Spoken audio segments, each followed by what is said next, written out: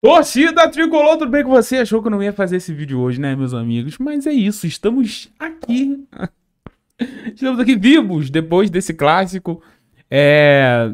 Eu vou tentar ser calmo aqui, ser um pouco analista. Mas aquele gol do Germancano, ele não, não, tem, não, não há descrição. A gente vai passar esse gol aqui. Provavelmente meu canal vai tomar um bloco, tá? Mas esse gol ele precisa ser visto. Né? Desculpa, Fluminense, eu tenho que passar esse, esse gol aqui. A Band me perdoe. É...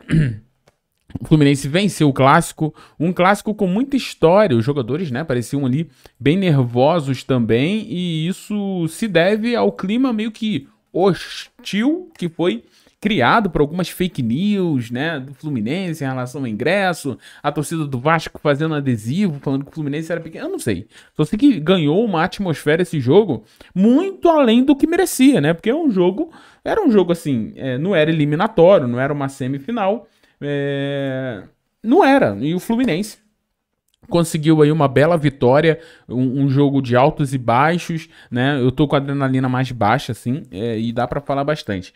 Nesse jogo, a gente tem que pontuar algumas coisas, né? É que o Diniz, para mim, ele evoluiu, tá? O Diniz, hoje, é um Diniz mais...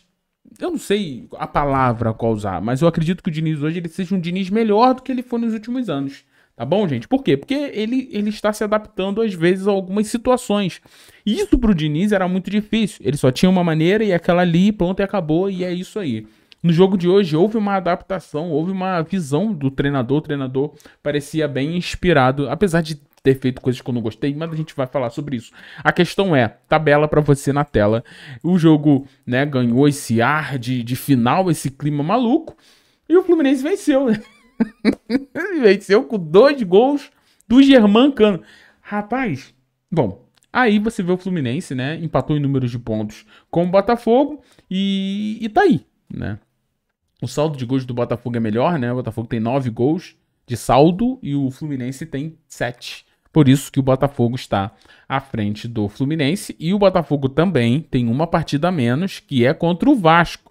Então vai embolar um pouquinho mais, mas eu tô gostando. Acho que o Fluminense tem tudo para caminhar, classificar aí de forma bem tranquila. É, eu queria falar um pouquinho sobre essa vitória do Fluminense também, o que, que ela representa. Não por ser Vasco, né? Mas por ser um clássico é, e por ser uma virada de chave. Eu lembro que eu falei uma coisa com vocês. O Fluminense estava indo por um caminho um pouco complicado, né? É, de jogos bem ruins, atuação bem esquisita, o, o time é, fisicamente bem abaixo, e isso, obviamente, mexe no tecnicamente e taticamente. E como que o Fluminense viraria essa chave, né? O torcedor já estava ficando um pouco desconfiado pelos comentários que eu vi aqui no Hora do Flu, né? Vocês, meus amigos, meus queridos, vocês estavam assim um pouco, pô, Tiagão, tô achando que isso vai dar ruim. Só que uma vitória como essa, do jeito que foi, ela para mim é muito maior do que as pessoas eu acho que estão falando porque existe uma evolução do Fluminense de 2022 para mim aqui. Por mais que não foi um Fluminense dominante, absurdo e tal, o Vasco acho que fez uma partida boa também, né? Mas perdeu, então. é o que eu falo, né, gente? Clássico não se joga. Clássico se vence, se ganha. E o Fluminense ganhou, pronto e acabou. É. Mas vamos lá. Primeiro de tudo, esse clima hostil que foi criado pela torcida do Vasco, com adesivos, é, com. Até parece que o Fluminense é, não ganhava do Vasco por muito tempo. Era o contrário. O Fluminense, a última vez que perdeu foi em 19, meu amigo. De lá para cá é só vitória e empate, né? No, no, o, Vasco não venceu e vai continuar mais um tempinho aí sem vencer o Fluminense. Então hoje o Vasco é freguês do Fluminense, até com uma certa uma certa né, tranquilidade aí. É, então não entendi o clima que surgiu. Isso, obviamente, teve confusões, brigas e tal entre as torcidas. Dentro do campo, os jogadores, como eu já disse no começo do vídeo, nervosos, muitos cartões, a, primeiro tempo, então a galera ali e tal, tapa aqui, mão lá. Foi um clima hostil. Foi um clima hostil, acho que muito criado pelo, pelo Vasco. É, tá? Não, não tô tirando do Fluminense, mas para mim foi criado muito pelo Vasco essa parada de parecer que era uma final de campeonato, um clima assim, né? É, que o Fluminense compareceu. Muita gente que critica a torcida do Fluminense. Agora eu espero que elogie, porque a torcida do Fluminense estava lá, esgotou seus ingressos, e aí? Vai falar o quê, meu irmão? Né? A torcida do Fluminense foi. É, representou. E essa vitória, eu acho que ela vem com requintes de crueldade por causa desse gol aqui. Vamos lá. É, o nosso querido Laranja, o tricolor, botou lá no seu Instagram, então méritos aí para nosso querido Laranja. Eu vou só passar esse gol, gente, mas eu acho que eu vou tomar bloco. Aí, né, o erro da, da zaga do Vasco, meu amigo, olha o que, que o Germancano fez. Meu Deus, olha. E ele já tá tentando fazer isso há um tempo já. Quem acompanha o Fluminense vê que de vez em quando o Germancano pega a bola do meio de campo, ele olha pro goleiro. Ele já tá tentando essa daí, ó, há muito tempo. E ele só fez isso em um clássico no Maracanã lotado e um gol para selar a vitória do Fluminense no fim do jogo. Sendo que o Cano é ex-ídolo da história do Vasco, né? Do, do... Caramba, que, que situação todo o clima criado para no final o Vasco perder com dois gols do seu antigo atacante, aonde muitos torcedores do Vasco agradeceram que o Fluminense mandou o Nenê para lá e pegou o Germancano. Não que isso foi a negociação, né? Foi algo que aconteceu separadamente, mas virou isso, né? O Nenê que estava no Fluminense foi pro Vasco e o Vasco que tinha o Germancano, ele ficou livre no mercado e o Fluminense contratou. Eu quero só falar uma coisa de Germancano. Depois do jogo contra o Audax, que ele fez três, agora ele faz dois, né? É, ele estreia na temporada, na minha opinião, o Germancano apareceu. E digo mais, hoje o Germancano é o melhor atacante do Brasil. Não tem atacante melhor que o Germancano. E o segundo melhor é o John Kennedy. Os fatos provam isso. Amanhã tem vídeo do John Kennedy aqui, mais uma vez, né? Então, o Fluminense conseguiu essa vitória. É, numa vitória onde o primeiro tempo, eu confesso para vocês, eu não gostei. Eu acho que o primeiro tempo do Fluminense foi ruim. É, acho que até se não fosse o Fábio, que outro monstro nessa partida, não só nessa partida, mas na temporada de 2023 e 2022, Fábio tá, tá atuando muito. Só que eu acho que existe ainda um preconceito com o Fábio. Eu não sei porquê. Mas o Fábio, para mim, é um dos melhores jogadores do Fluminense, gente. O Fábio tá agarrando muito, é um paredão, ele é acima da média. E o Fluminense veio a campo com o Arthur, né? É, como a gente tinha adiantado aqui para vocês, a informação do Vitor Lessa.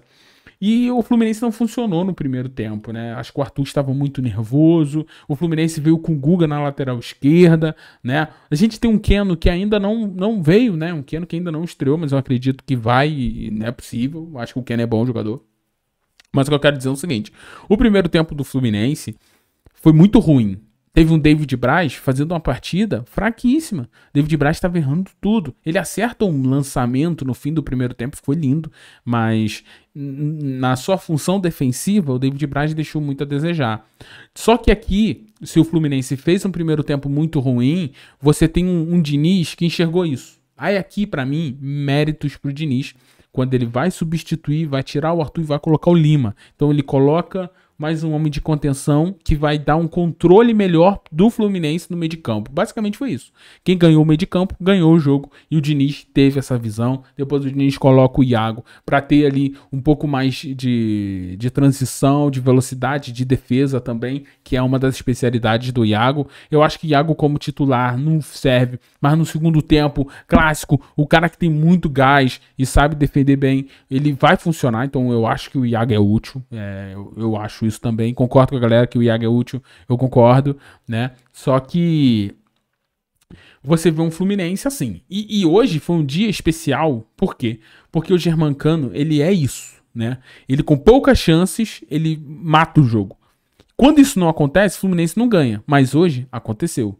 A chance que o Fluminense, que o Germancano teve, que a bola sobrou, né? E ele meteu para dentro e depois ele, ele arrebentou de novo, é, foi excelente. Porque é isso, o Germancano ele é cirúrgico e ele sempre foi assim, é uma das, é, uma das características dele. E quando ele consegue, Fluminense dificilmente perde, né? Então, olha só, eu acredito que essa vitória, ela é... Ih, meu Deus, agarrou a, a câmera ali, diretor? meu Deus, vocês estão me ouvindo, né? É, mas essa vitória, pessoal, ela é uma vitória muito... Como eu posso dizer? Ela é uma vitória. Opa, voltei? Mas ela é uma. A câmera tá horrível, né? Mas ela é uma vitória que nos ajuda muito para o restante da temporada, tá? É, é o tipo de vitória que vem e mostra o que o Fluminense veio fazer, né?